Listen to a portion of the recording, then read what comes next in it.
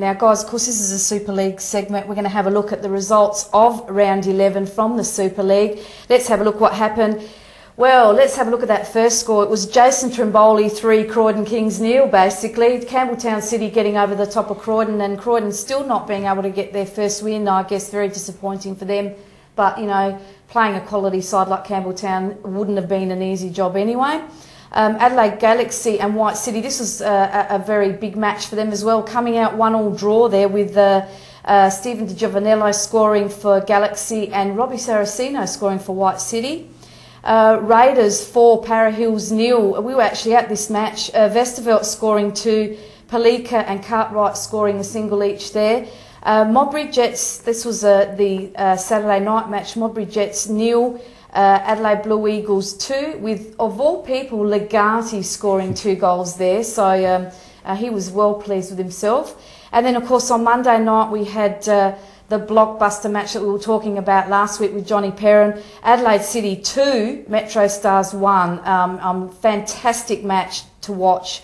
Uh, with again Damien Morris scoring the first and Nicky Boudin scoring the late goal for the winner and James Young scoring for Metro Stars.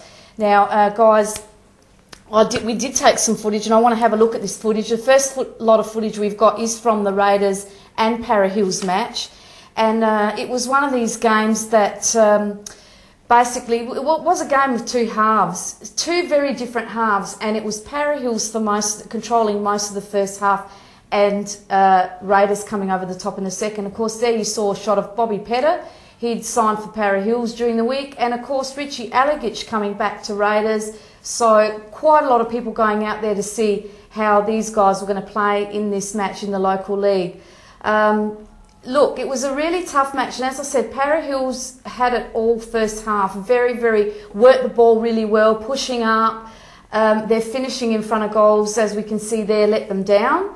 And uh, that was going to come back and bite them in the end because, um, you know, if you're not putting away goals, you can't win matches, guys. And uh, I have to say, a lot of people ask me, how did Bobby Petter play? Magnificent. He's all class.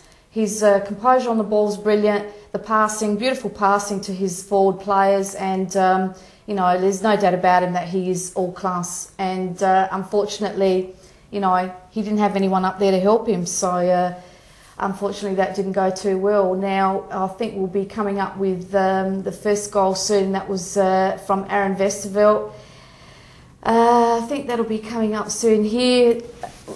Very interesting how Raiders played. This was a, a, um, a goal that was uh, coming off the break against the run of play. As I said, Para Hills had most of the first half. And uh, yeah, here it comes now. He takes two bites at this cherry and uh, puts it in the back of the net for their first and that was around the 35th minute.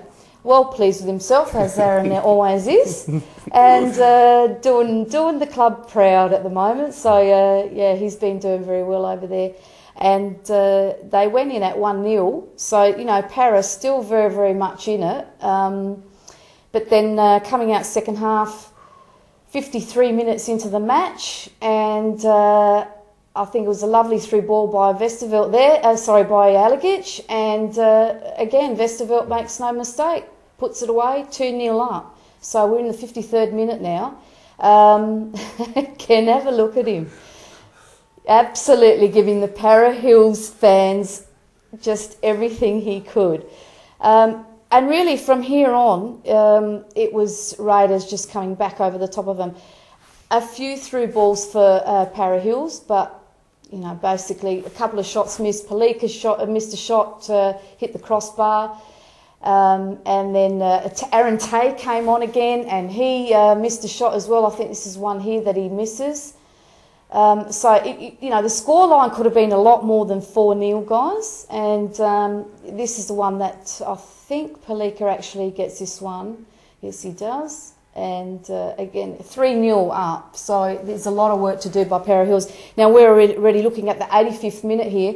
One minute later, Michael Cartwright comes in and uh, opportunistic is in the right place at the right time and uh, puts away the fourth for Raiders, which will be coming up shortly.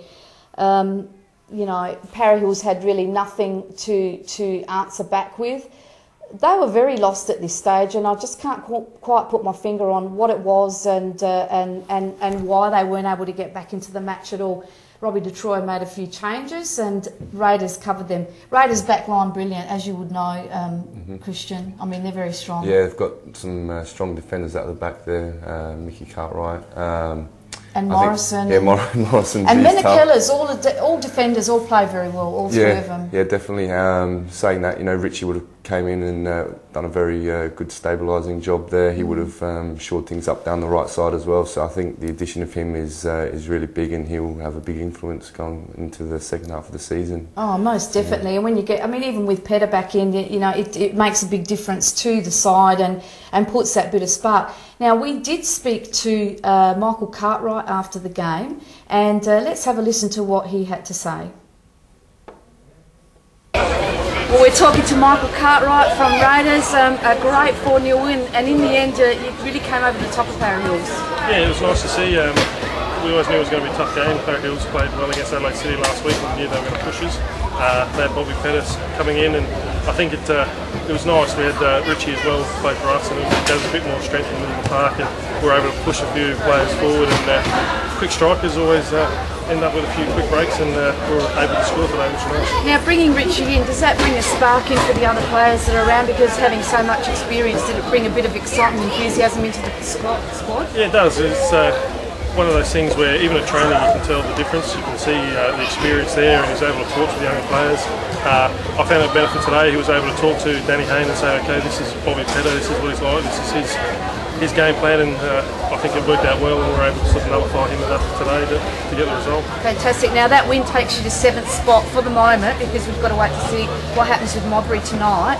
Um, obviously, a good start foundation for you guys to keep going, because you're going to have to you have to keep winning, don't you? Absolutely. We can't afford to uh, have the second half of the season like the first half. We do. Uh, it may be uh, Premier League football for us next year, and uh, no one wants that. So don't want to say that. Don't say no, that. No, no. we we're aware of it, and we know that we have to play well, and uh, every game is a must win for us now. Now, of course, you've got uh, Campbelltown at Newton next week, and they beat. Uh, they ended up beating Croydon today, so uh, another big match. Yeah, it's going to be a big match. Trimmers will be, uh, I assume Trimmers will line up against us. Scored. So uh, it's going to be a tough game for, for all of us. And uh, Campbelltown are playing well. They've got a good squad. They've got young players, and they're, uh, they're going to be a tough game. Well, a great game, very, very entertaining and well done, and lovely goal by yourself at the end there. Thank you. I'll take whatever I can get. Cheers. Thank you. Thanks, Nat. Yes, and as we mentioned to uh, Michael Cartwright, they're going to have to keep winning to uh, make their way back up the ladder because uh, it's a very, very tight up the top there. Now, Kristian, your match. You know, I have to say, I really enjoyed this match. From look, from us talking about it, it was a blockbuster match. It was, you know, the, it was the three points there to be taken, and it's, uh, you know, something to build on to be able to get to that championship. How did you guys come up just leading up to the match? Um, yeah, we just some of our results at home hadn't been too positive for us the way we'd been playing, but um, so we took that into the game, you know, knowing we had to put a good performance in um, against Metro, especially against Metro, and um, you know they, they came at us. Credit to them, they were really pressuring us uh, quite hard up the pitch, and they were pushing a lot of people on. So um, you know, I think we coped well with the pressure. We they weren't really getting a lot of chances. Um, you know, they, they, had a lot of the ball starting off, but I think you know we just had to control that and um, keep our shape, and, and, I think we did. Um, and you know, we were still um, we were getting a lot of chances, well, not a lot of chances, but we were pushing. You know, they were push, pushing Ivan Karlovic into the midfield, and they were sort of leaving one-on-ones at the back. And you know, Damien got his first goal by you know that sort of thing. He sort of pushed on and, and, and got the chance and scored. So um, you know, they were pushing, and uh, you know, it was we just had to cope with that, and, and I think we did. And unfortunately, Pez got sent off in the second half, yeah. and um, they got a goal, which was a bit disappointing. I thought at that stage it would, it would probably finish one all, and uh, of course Damien Morris steps up and and uh, you know he just breaks through the defence like he's done over the years so many times, and um, put it on a plate for Buddha, which yeah. was. Uh, which was good to good to seal it. So, yeah. Now we were at that match again. We did take footage, so let's have a look at that footage while we're just talking about that game. As I said, fantastic game.